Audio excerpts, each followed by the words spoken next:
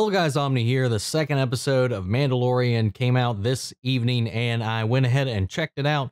So just like last episode where I uploaded a little bit of a breakdown on it, this episode is actually going to be a little bit easier because I was wondering if I wanted to do just kind of like just the spoilers, just the little main things I wanted to touch upon because I don't know. Sometimes those types of videos can run a little long and uh yeah, so this episode actually is shorter, sadly, than the last episode. So the runtime they said between this episode and episode three, they said would be very similar. So expect something just as short next week. So let's go ahead and start diving into the episode because it still manages to hold up and stay a little bit level. I would say this definitely is a little bit of a weaker episode than the last one. So on that level, who knows? This is just the uh, beginning of the season. So I'm sure it's going to pick up as things build, as we get more characters, as the plot thickens as it moves along. So I'm not going to judge it too harshly on that, but it still keeps its tone. It keeps the aesthetic very in tune with the last episode. So it is staying very consistent in the world that it's created. So again, if you haven't seen last week, the well, last week's episode, it was earlier this week. If you haven't seen episode one, uh, or this episode, I'm just going to say spoilers for both, and we're going to go ahead and start diving right into it with the Baby Yoda species that we saw at the end of the episode it just like changed the game for this show already uh, here going forward, especially carrying over into this one because it very much picks off where we left off. He's just kind of has the cradle kind of hovering along as he's making his trek back to his ship. And uh, he comes across this little canyon thing, and this is where the actual Trandoshans come in uh, that we saw from the trailers, from the uh, promotional imagery of him fighting the Trandoshans in that little canyon. Uh, before they actually show up, though, it was built up to really well because it was just like slow, quiet, nice, and you just see like a whoosh, a shadow move across the top of the canyon. It doesn't put any focus on it, not at all. It's easy for you to catch. And then as he starts to kind of shift and suspect something's around, on the glare on his helmet, you see another one jump across the canyon, kind of repositioning. So I really loved the camera work and the way that was shot because it was just really, really well done. Uh, we got a new director this time around. It is Rick Famuyiwa. And, you know, the honestly, the change, it doesn't really feel too different from the last one. This still feels very much like a Clone Wars episode to me. I know the last one was directed by Dave Filoni, and from what I understand, I think each episode of the season is going to be directed by somebody different. So far, I didn't really feel that jarring of a difference in tone here, but the way it was shot and handled was still very, very well done. Um, but my lord, the fight was just awesome. He takes him on hand to hand, and the one tries to bum rush the cradle, and he whips out that big old rifle with the tuning fork, and we get a taste of what this thing can do, and it it vaporizes the guy. He just turns to dust, nothing left but his like dust cloak and that's it. That thing just rips him apart. Loved it. Um, we see a little bit more of them fighting out, and when he finally dispatches the Trandoshans, it, they drop their own tracking fob, which so somebody is still just handing out bounties, still trying to collect on this thing. So we is it still Werner Herzog? Are they just passing these out to anybody that managed to actually bring it in? Because it seemed like it was supposed to be some kind of on a down low kind of thing uh, so there's something fishy up with that. But you know, as they're walking along, Baby Yoda walks around, uh, just just keeps kind of crawling out of his uh his basket as he's trying. Anytime they take a break, uh, the Mandalorian got a little bit wounded during the fight with the Trandoshans, and he's like patching it up himself. But the baby keeps trying to get out of his little carriage to go over and walk up to him, and he reaches out his hand to the wound like something's going to happen, and Mandalorian just keeps me like, ah, get back in it. And every time it comes out, it's just kind of like oh, he just like shrugs and just puts it back. Like you, you, like when you just have a cat that just doesn't understand, you don't get up on the desk and it keeps jumping up on the desk. And it was just so cute, so cute. They finally get back to his ship just to find it being torn apart by Jawas. Now, this is something I'm wondering if they're changing because on the lore originally, I'm pretty sure that Jawas were just native to Tatooine and they've never clearly stated what planet this is on, but there's a lot of things that clue me in that this might not be Tatooine. They still haven't declared that, so I don't know. Maybe it is. But these these Jawas have red eyes and black cloaks, so it's a little bit different. Uh, so who knows? Maybe they've migrated off of Tatooine and they've just adapted to newer surroundings. I don't know. Very much similar. All these desert planets just start to look alike. Who knows? Maybe it's Jakku, but we didn't see any Jawas on Jakku last time we saw it in the uh, main trilogy. Uh, so who knows? But he goes back, he tries to track him down. Again, we kind of have a little bit of this mix of serious and comedic tones blending together when he's trying to like chase after them when they've stolen his parts. But he, before he goes chasing after him, he hits them with that same rifle he shot the Trandoshans with and just completely dusts these things because it just blitter, obliterates these Jawas. And it's pretty freaking awesome. I'm not going to even lie to watch that whole thing ensue. The whole time, like Baby Yoda, which is what I'm going to keep calling it because I have nothing else to call this thing, just kind of keeps looking at him like, what are you doing?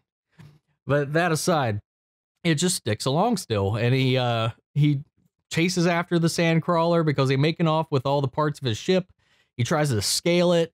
He uh, throws some of them off of it. He gets they're pelting him with junk, trying to get him to fall off the crawler. He finally makes it to the top, and then you just have like 15 Jawas, all with those little uh those stun guns that they used in uh episode four, and they just all hit him at the same time and just instantly paralyze him. And he just falls off like a plank and lands on the dirt, and it just rides off into the sunset totally out of tone with this. Like the the comedy versus the serious. Like I remember the the trailers for this. I really thought we were going to get a purely serious kind of take on this, but they are really mixing it up with the comedy and pushing some of that in there really hard. And I think that might rub some people the wrong way. I tend to actually like it.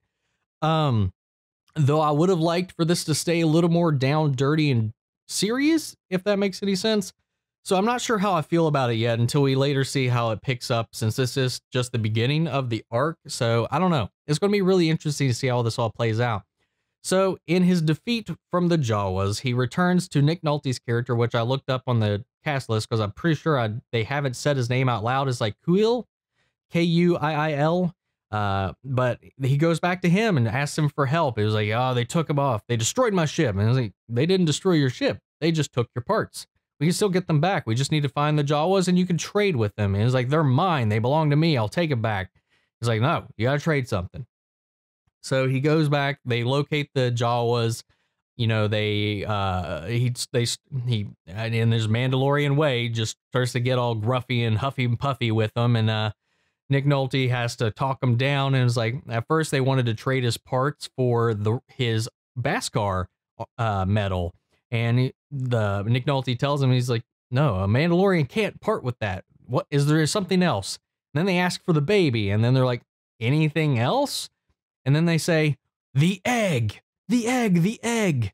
And he, uh, so they want him to go after this egg of some sort. So they take him, he gets led off into this cave where I guess he's tracking a monster. I was really hoping we were going to see him fight like a krayt dragon that would might be a little much for this Mandalorian at least because I was hoping we're getting like we're getting little things from the uh expanded stuff that might be coming back into play. I'd love to see that, but instead we get like this furry rhino thing. He goes in this cave, you know, all you see from the outside is pew pew pew. And of course the carriage is following him around because he can't be without it uh, out of his sight uh, but he leaves it outside the cave. So from the outside of the cave, you just see the blaster bolts light up the inside of the cave, and then he just gets tossed out. His plate's all damaged, and this hairy rhino looking thing just comes out and just starts charging at him.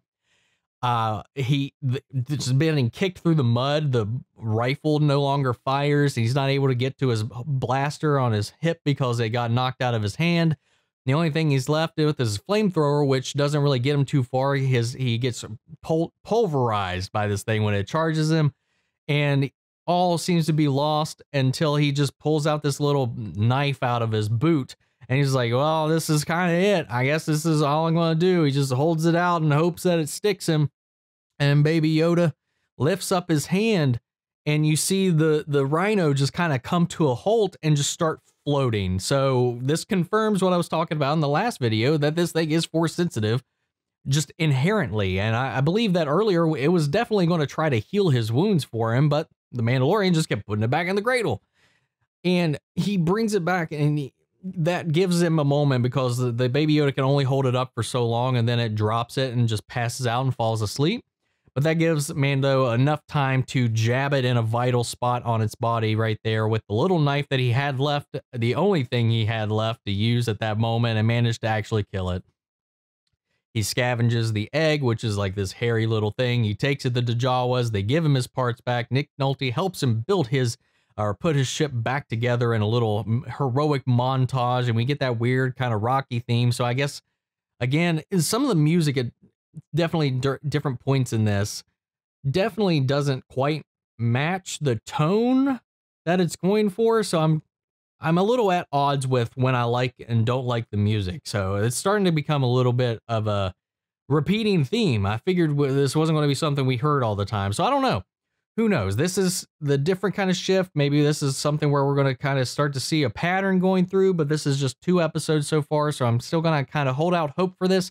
Either way, I'm still enjoying the show, but I feel like this again might put off some of the people that are looking more for that down and dirty like serious uh, smuggler, uh, seedy scum and villainy kind of show, and this is definitely kind of earing, uh, steering away in a different kind of tone in that kind of way. At least in these initial two episodes, the first one played a little bit closer, but now that the baby's in the picture, it's getting very much very slapsticky.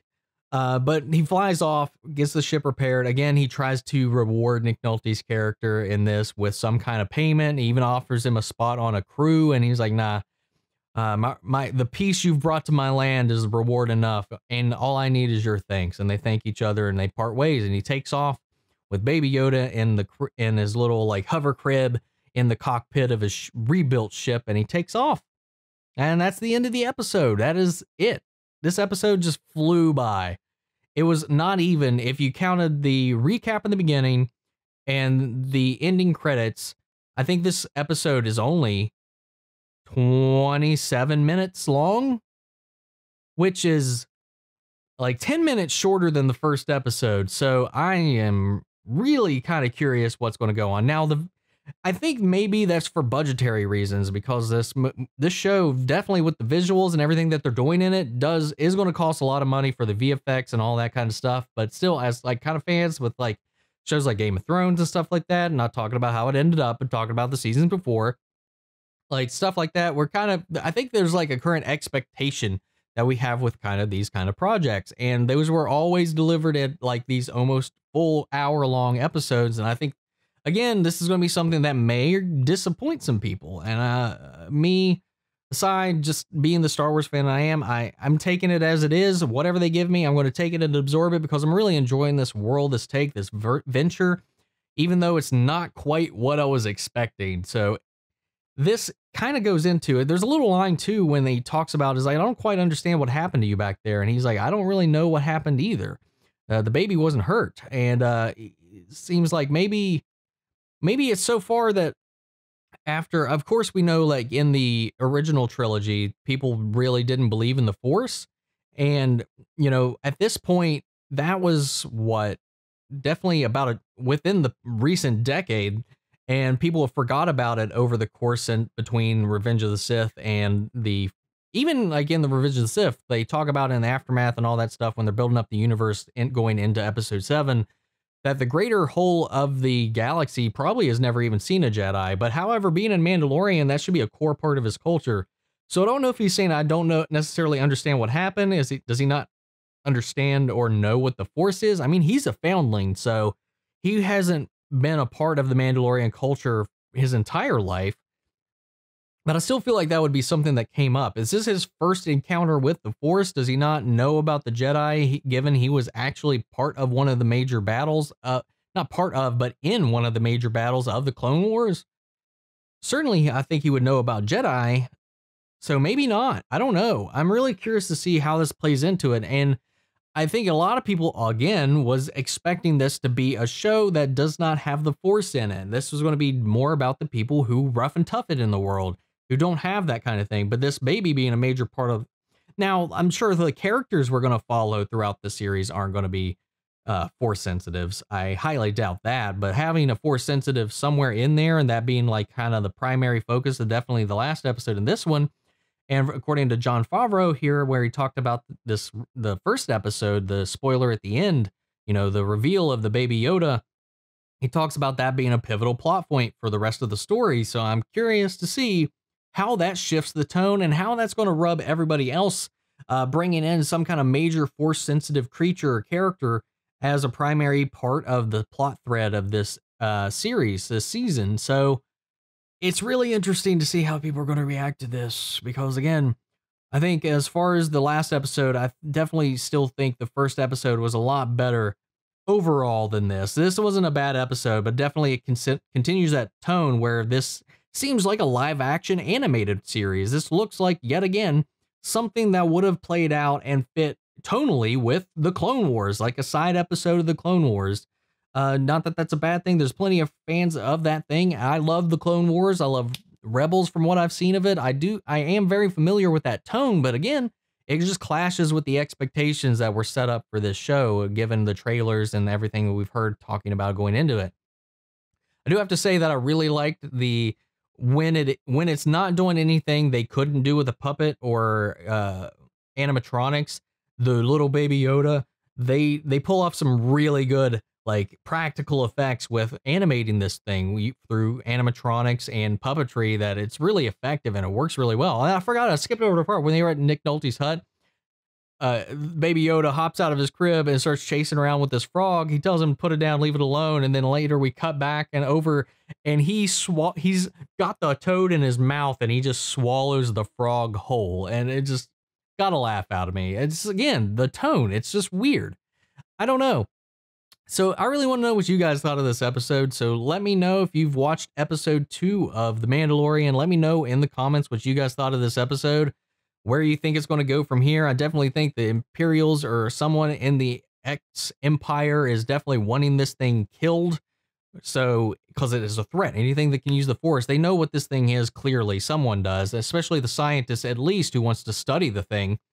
Um, it is a rare species, as what we know from at least the expanded universe. So, I can see where that's going to come into play and where what's the Mando going to do with it? He's going to take it back to his enclave, or what are they going to? What's he going to do with his baby? I, I highly doubt he's going to turn it in for the reward, but I, I don't know. We'll have to see.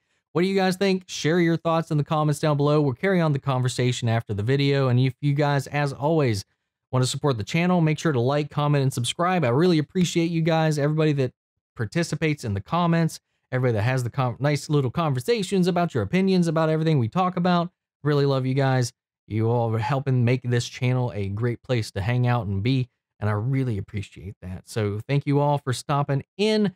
That is going to be it for this video. This is coming out really early in the morning because I just ended my uh, stream on Twitch where I was playing Jedi Fallen Order for the last four hours, and I'm loving that. It's actually really surprisingly good for what I was expecting, and I'm having a blast with it. It's pretty hard, but again, again, I kind of chose a higher difficulty, so that's kind of on me. But so if you guys want to tune in that, make sure to follow me on Twitch. Uh, I'm hoping to be on later tonight, uh, about 2 a.m. Eastern Standard Time. That'll be technically Sunday morning by the time I actually log in. I, that's about the times I actually am active. Uh, I'm not on as frequently as I used to be, but I'm trying.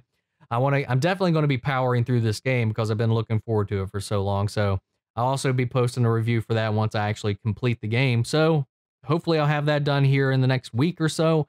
So thank you guys. I'll catch you guys in the next video and may the force be with you always. Take care, everybody.